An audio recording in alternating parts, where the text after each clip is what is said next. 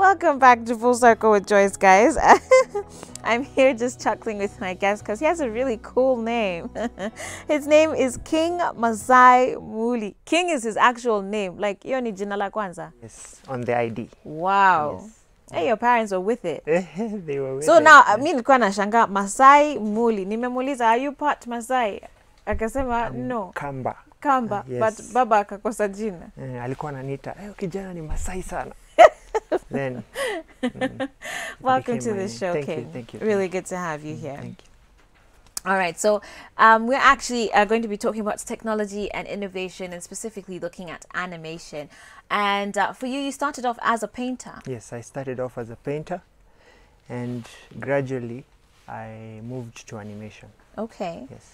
And uh, how how long ago were you a painter? Was art and creativity something that was always in you? Did it develop over time? Uh, I started I started art while I was in primary school. Okay. While we were being taught, I used to draw on my exercise book. Mm-hmm. And then as I grew older, uh, I came to find out that you can draw on your own canvases and Yeah. everything else. So I started I started painting. Okay.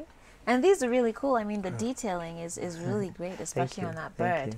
Um, but talk to me about animation. How big is that as an industry here in Kenya? Animation is a really big industry, but most of most people usually neglect it because they majorly focus on 3D, three dimension. But there's a whole line of animation that they they fail to see, which is two Okay. dimension. Okay. Yeah. Okay. Explain two dimensional animation then to us.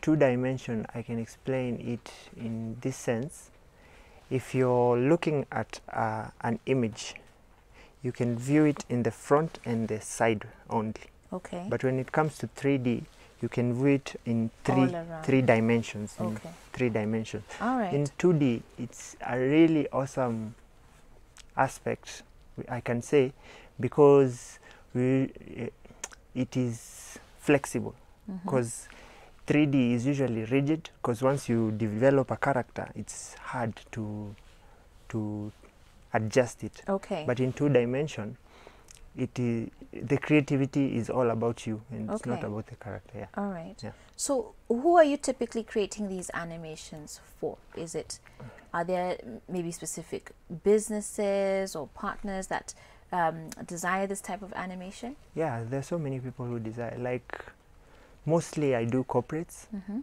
because they would like to advertise their products Mm-hmm. maybe someone has a business and then he wants to advertise it and does not have the equipment to make a video shoot Yeah. so i just create a character and then that character explains the whole context of the business Okay. and it's they're all okay Nice. So you've been able to work with quite a few corporates. yeah i've been able to work with It's a few. seeming like you've now shifted almost entirely into animation yes over. yes yes Is that now your new love?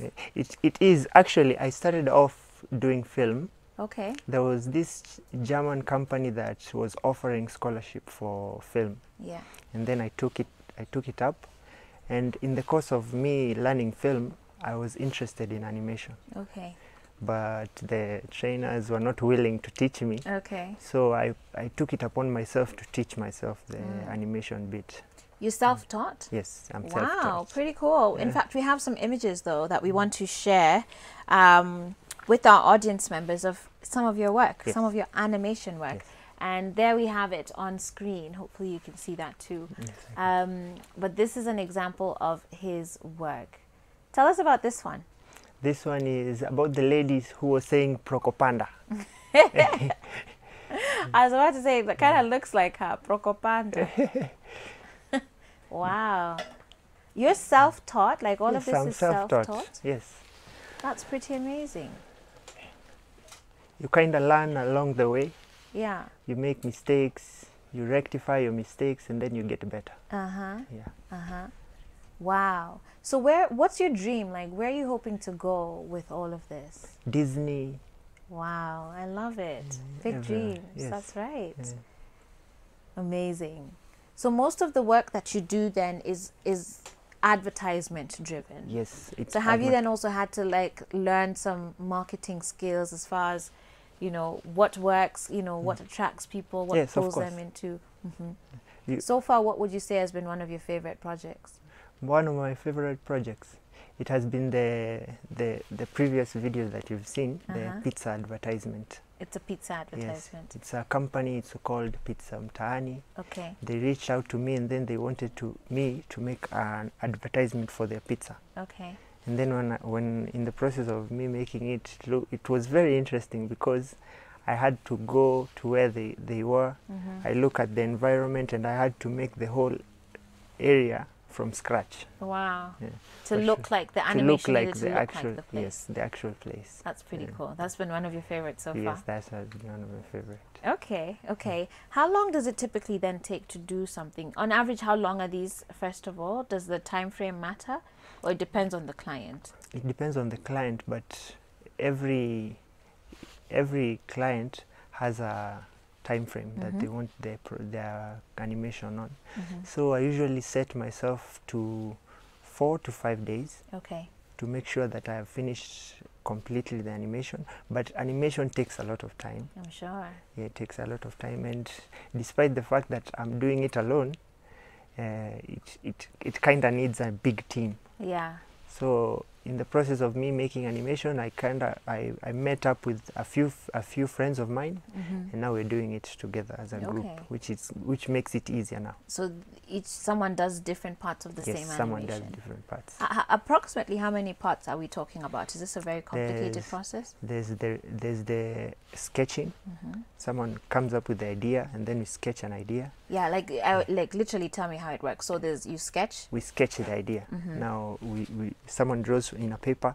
We sketch everything, and then we look at the, it's like uh, what do you call it? A plan of how exactly it's supposed to work. hmm And then when once we, we agree on that plan, we go now to the software. Okay. We start rigging, create, creating the characters that we're supposed to make. Is it like a is, is it like a stylus or what are you using like to actually create the characters? To create the characters, I'm using a software. It's called Adobe Animate. Okay.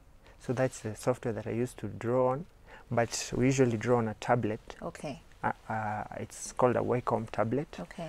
You draw on it, and then it's it's generated on the software. Okay. Yeah.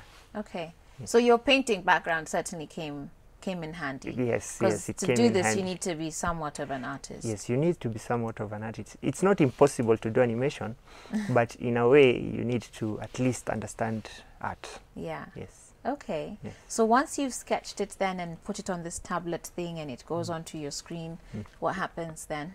Once now it goes to your screen, you start rigging the characters. Once the characters have been have been rigged and they are good to go, now you go to painting them. Once they've been painted, you go to color grading, and then you you do the final edit. Okay. Yes. Wow. Okay. So it is a bit of a process. It's a bit of a process. No wonder yeah. you, especially now if you're building up the number of characters. Yes. And in fact, there's another of your um, animations there. Tell me, what is he waving? Uh, that was a Christmas animation. Uh-huh. I wanted to tell everyone her Merry Christmas. Nice. Yeah. Nice. I really liked. I wish we could go back to the one for Poco Panda. I really liked it. um, how how does one get like the character to look so as real? I mean, that must be a challenge. That's probably the hardest part. Like especially if it's a character that we've say seen on TV. yes. To make the person look like the animation look like the actual person must be very tricky. It's it's it's a bit tricky because you have to look for the key the key elements in that character Yeah. because you know like for instance Raila he likes wearing that cape Yes. So if you don't draw if you draw Raila without that cape We're it's like, it's- who's that? who's that guy yeah, see, yeah. Right. Right. so we have to look for that those aspects of that character okay. that can bring him to life All right. yes yeah. Okay, so it sounds like you're open to business to a lot of different things, and I really like that you are self-taught. I mean, and have identified opportunities for yourself. yes Um, so, how can people get in touch with you should they want to um, maybe reach out to you for some work? Yeah, I have a social media page. It's called my company is called Muliski Animations. Okay, Muliski. Muliski. Okay. Yes, from my from the name Muli. Muli. Yes, okay. Muliski Okay. Animations. Uh huh. And they can get in touch with me also on email muliskianimations at gmail.com. Okay. And any uh, you can also Is your work on social media? yes mo- my work is majorly social media Okay, Muliski as digital well. creation yes Digital creation. Yes.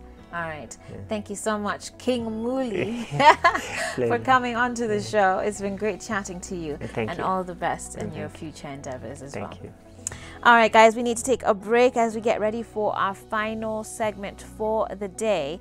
We're going to be bringing you our fitness segment, and it's going to be on looking at Taekwondo as a sport. This is coming up next. Stay tuned.